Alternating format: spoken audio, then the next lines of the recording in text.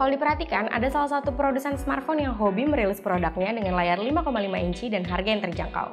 Pasti kalian udah bisa nebak deh. Yap, ini dia Infinix dengan produk terbarunya Hot 3.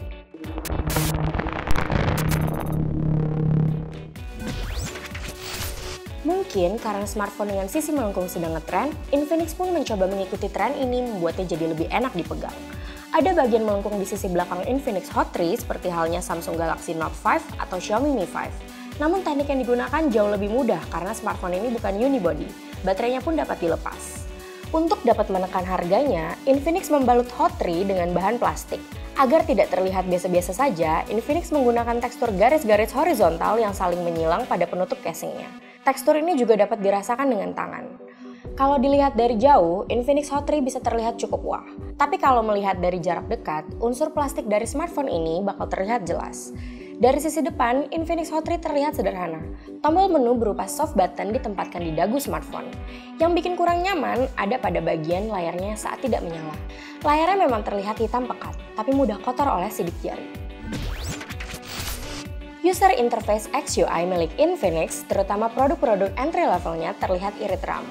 Konsumsi RAM yang irit ini juga kembali bisa dirasakan pada Infinix Hot 3. Dari RAM 2GB yang tersedia, XUI memakan RAM 600 MB saat idle. Karena tingkat konsumsi RAM-nya rendah, maka Anda jangan terlalu berharap UI ini punya tampilan yang menarik.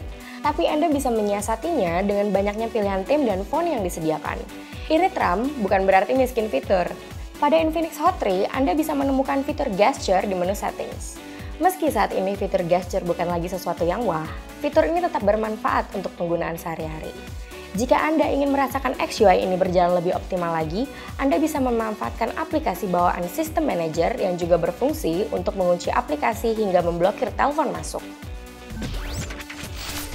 Selama ini, Infinix sangat identik dengan CPU MediaTek. Namun untuk Hot 3 dengan tipe X553 ini, Infinix berpartner dengan Qualcomm menggunakan CPU octa-core Snapdragon 415 dengan clock speed 1 GHz. Karena merupakan prosesor entry level, jangan berharap skor benchmark yang dihasilkan bakal tinggi.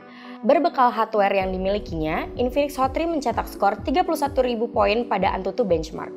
Bagi kami, skor ini sudah cukup. Karena yang terpenting, smartphone ini bisa menjalankan game-game berat dengan baik. Kami merasa nyaman ketika bermain game mulai dari Clash Royale hingga game sekelas Warhammer Freeblade asalkan bukan game virtual reality. Pasalnya, Hot 3 tidak punya gyroscope. Saat bermain game, bodinya tidak cepat panas. Layar 5,5 inci Full HD milik Hot 3 juga lumayan tajam. Adapun hal yang paling bikin risih dari layarnya adalah bias yang dihasilkan dari caplakan sidik jari. Yang jelas, untuk kebutuhan multimedia atau bahkan game HD, smartphone ini tergolong mumpuni, terlebih lagi harganya yang terjangkau. Performa multimedianya yang oke juga turut disumbangkan oleh speakernya yang cukup nyaring.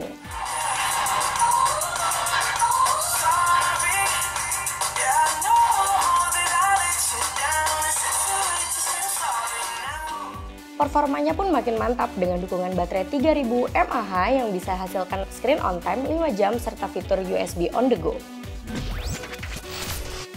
Selain Zero 3, kualitas kamera smartphone besutan Infinix tidak bisa dibilang istimewa apalagi Hot 3 yang masuk kelas entry level.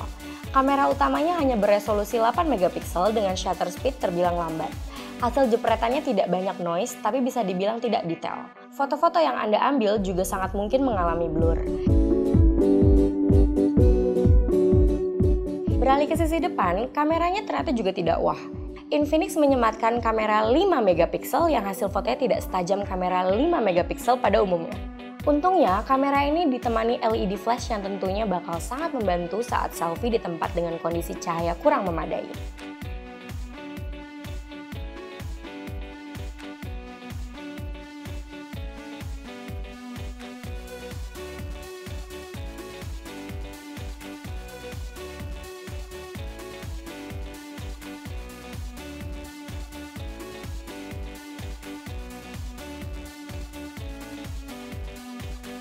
Infinix Hot 3 adalah opsi menarik bagi Anda yang mencari smartphone multimedia ramah kantong. Smartphone ini bisa menjalankan game HD kelas menengah ke atas dengan nyaman. Desainnya pun lumayan, tapi bagi Anda yang sangat mementingkan kamera, kemungkinan besar smartphone ini bisa membuat Anda kecewa.